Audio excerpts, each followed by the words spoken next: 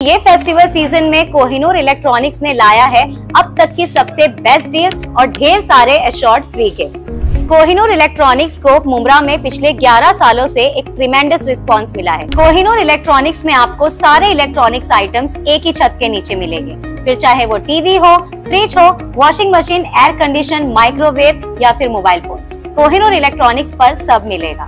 और हाँ कोहिनूर इलेक्ट्रॉनिक्स में फाइनेंस भी अवेलेबल है। ज़ीरो परसेंट डाउन पेमेंट पर आप अपने कोई भी मन चाहे इलेक्ट्रॉनिक्स आइटम्स ले सकते हो। बेहतरीन ऑफर्स एंड फ्री गिफ्ट सिर्फ़ और सिर्फ़ आपको कोहिनूर इलेक्ट्रॉनिक्स में ही मिलेगा।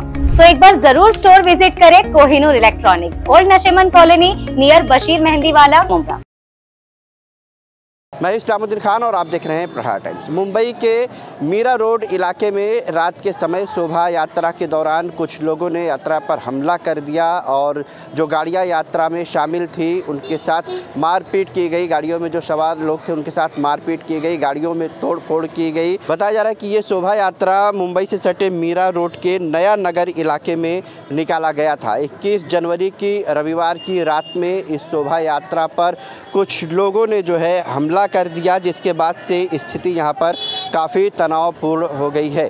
आपको बता दें कि आज 22 जनवरी है और 22 जनवरी के दिन अयोध्या में राम मंदिर की जो है पीएम नरेंद्र मोदी के द्वारा ओपनिंग की जा रही है और पूरे देश भर में लगभग जो है आ, सभी लोग शोभा यात्रा निकाल रहे हैं। हिंदू धर्म के जो सभी लोग हैं, वो शोभा यात्रा निकाल रहे हैं। अलग अलग संगठनों से जुड़े हुए हैं, लेकिन इसी बीच ये मुंबई से खबर सामने आई। मीरा रोड इलाके से जो नया नगर इलाका है, बताया जा रहा है कि यहाँ पर शोभा यात्रा निकाली गई थी रात के समय, जिस पर कुछ लोगों ने हमला कर दिया और तोड़फोड़ की गई है, मारपीट भी की गई है। इसके बाद से स्थिति यहाँ पर जो है काफ़ी तनावपूर्ण बना हुआ है। पत्थरबाजी की गई। पुलिस भी मौके पर वहाँ पर तैनात की गई है।